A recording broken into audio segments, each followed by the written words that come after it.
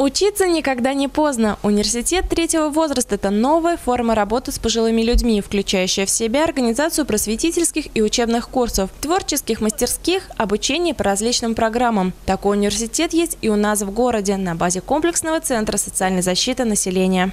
Буквально в апреле 26 числа у нас открылся новый факультет.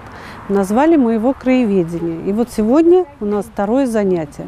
На первом занятии мы смотрели отрывочно фильм Груни Корнакова, который снимался в нашем городе на фаянсовом заводе. И через него познакомились и с историей села Кузнецова, и с местами, где проходили съемки. На втором занятии студенты вместе с краеведом Людмилой Геннадьевной Ефремовой прошли по тем улицам и местам, где можно говорить об истории села Кузнецова и нашего города. Цель факультета краеведения – это узнать не только историю Конакова, но и нашего края. Мы предполагаем, что мы э, окрестности городские посетим и в том числе познакомимся даже с деятельностью наших крупнейших предприятий, как э, комплекс Дмитрова гора, агрофирма и хлебокомбинат наш.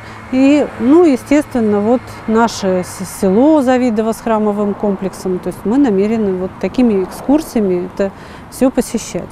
Поскольку это университет, то мы прям за время экскурсии студенты совместно с краеведами, сотрудниками комплексного центра социальной защиты населения прошлись по улицам Свободы Старопочтовая, заглянули в Комсомольский сквер и, конечно, посетили здание бывшего синематографа. Это здание знакомо многим жителям нашего города. Здесь когда-то царила атмосфера творчества. Бывший кинотеатр был отдушный работающих горожан.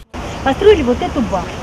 Потом в 1912 году, когда решили открыть здесь Тимофей Сидорович купил оборудование для показа немых фильмов, вот, пристроили вот это здание. Вот это, вот это был синематограф.